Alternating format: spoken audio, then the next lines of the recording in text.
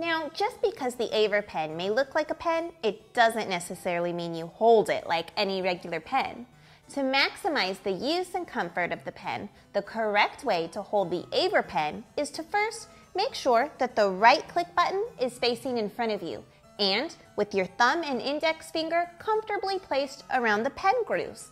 Then you want to make sure you're holding the pen at a slight slant.